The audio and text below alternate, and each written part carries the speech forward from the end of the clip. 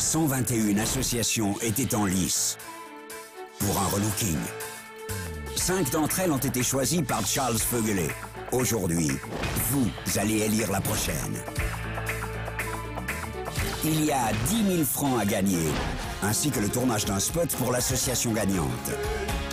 Votez maintenant sur lasuissealamode.ch.